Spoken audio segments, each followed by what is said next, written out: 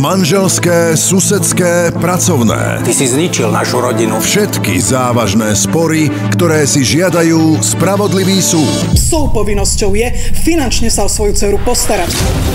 A nikdy nevyriešené prípady Striedala milencov. Vy vlastne ani neviete, s kým máte to dieťa? plné silných argumentov Manžel mi zahýbal a ja som bola naozaj zúfala. Sám si neplníte svoje rodičovské povinnosti. a skutočných emócií. Prestaň!